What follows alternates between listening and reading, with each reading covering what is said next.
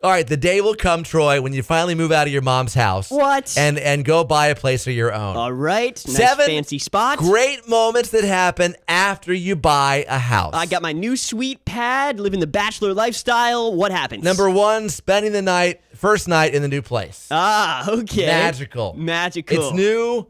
Uh, in new surroundings. This is kind of cool. My mom's I like not this place. here. I could sleep naked.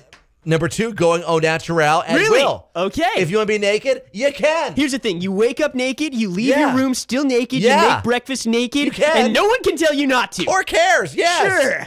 Uh, the housewarming party is like one extra birthday. oh, really? Yeah. People show up, you get Uh-huh. to eat food, and they bring you gifts. Personally, money. I love a reason to Ah. throw a party, and I love Yeah. it even more when people bring me gifts to my party. your castle, your rules. Oh, you're right. Wanna I be get loud? to make my own Be rules. loud. Yeah, you're right. Play music. Yes. Whatever I want to eat for dinner, I Uh-huh. can have it.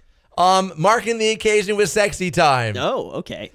Babe, it's Do whatever you want. New house, and you see we've got multiple rooms in here. Yes. What do you think we should spend the night in the laundry room? Check No- out that place. No one's living below you. Mind, you're not in an apartment Oh, anymore within walls. Jump up and down. Do whatever you need to do. Okay. Uh, tax write-offs are always fun. Oh, I don't know anything about that, but I'm there's legal sure- stuff. Homeownership sure gifts has perks. Um, you you've got at, at some point, unless you live in Ogdensburg, um, equity, Okay, which equity. you can use. You know, that's a word money. that I think is a good word. Right. And Look at this. I've got all this equity now. Yeah. Nice. And then lastly, bidding farewell to your neighbors from hell. no.